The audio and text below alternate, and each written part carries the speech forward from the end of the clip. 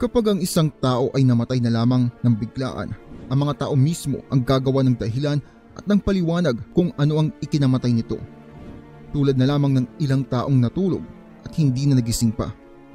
Noong unang panahon, hindi pa maalam sa medisina ang ating mga ninuno. Kung kaya't gumawa sila ng paniniwala at isang nilalang na maaring masisi sa mga pagkamatay na ito. Ito nga ang kinikilala ngayong batibat mula sa paniniwala ng mga Ilocano at maging ng mga Tagalog. Ang isang batibat ay isang masamang elemento. Ang batibat ay nagsimula sa salitang Ilocano na nangangahulugang bangungot o nightmare sa salitang Ingles.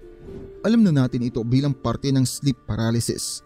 Pero sa video na ito, isasantabi muna natin ang siyensya at hayaang maglaro ang ating imahinasyon. Halina't samahan niyo akong tuklasin ang kwento sa likod ng mitolohiyang ito.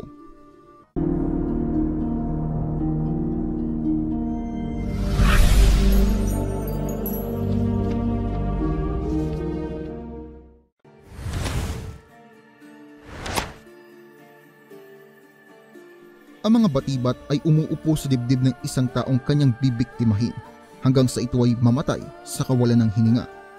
Imaginin mo naman sa laki ng halimaw na ito, ewan ko na lang kung makahinga ka ba.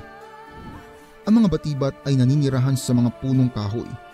Noong unang panahon kasi, ang mga Pilipino ay gumagawa ng bahay gamit ang kahoy lamang. Hindi pa uso ang mga hollow blocks. Kung kaya't may mga pagkakataon na napuputol ang bahay ng isang batibat. Ang batibat ay maninirahan pa rin sa punong kahoy na pinutol na magiging parte naman ng isang bahay. Ito na ang hinihintay na pagkakataon para makapaghiganti ang isang batibat sa pamamagitan ng pag-upo sa biktima kapag ito ay natutulog na. May paniniwala rin na ang mga ito ay naninirahan sa mga puno katabi lamang ng isang bahay. Hindi gusto ng isang batibat na matulog ang isang tao malapit sa kanyang tinitirahan na puno at itong dahilan para patayin nila ang taong ito. May paraan naman para makaligtas sa hagupit ng isang batibat. Kailangan maigalaw ng biktima ang kanyang mga daliri sa paa at ito ang magiging daan para siya ay magising sa pagkakatulog.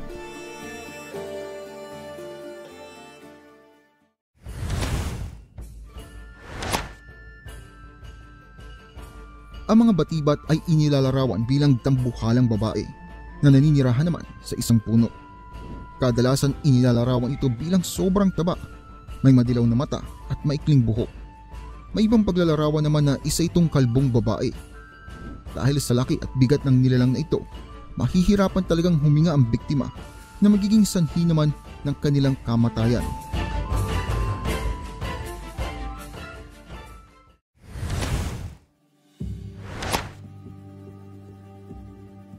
Ang SUNS o Sudden Unexplained Nocturnal Death Syndrome ay isang genetic disease na nalilink sa bangungot.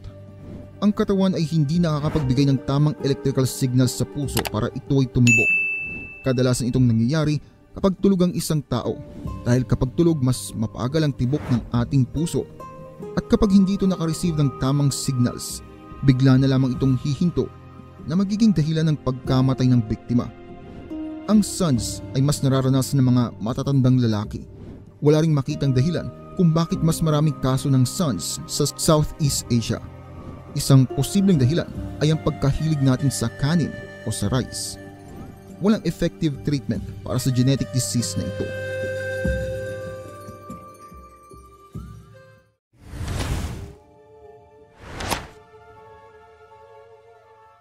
Maraming kilalang tao ang namatay sa kanilang pagkakatulog.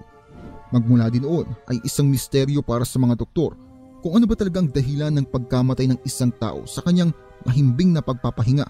Kasi nga naman itong pagkakataon para makapag-charge ang ating katawan. And yet, tuluyan nang na-discharge ang katawan ng isang tao kasi nga namatay na. Sa mga nagdaang panahon, ang mga doktor ay inaksamina ang mga taong namatay sa bangungot at sila ay may napansin sa mga ito. Kadalasan ng mga namamatay sa bangungot, again kadalasan hindi lahat, ay kumain ng maarinang pagkain at uminom ng alak bago matulog. Ang sikmura ng biktima ay puno ng alak at ng pagkain dahilan upang ito ay magkaroon ng tinatawag na acute pancreatitis. Magmula noong nadiskubre ito ng mga doktor, itong naging paliwanag kung bakit kadalasan sa mga namamatay ay ang mga lalaking nasa matandang edad. Kasi nga ang ibang mga tatay natin kadalasan umiinom para daw pampatulog. Yan ang karaniwang dahilan na naririnig natin. Pero hindi naman lahat ng namamatay sa bangungot ay dahil sa acute pancreatitis. Ang iba wala nito at nananatiling misteryo para sa mga eksperto. Ang Pilipinas ang nakapagtala ng pinakamaraming taong namamatay dahil sa bangungot.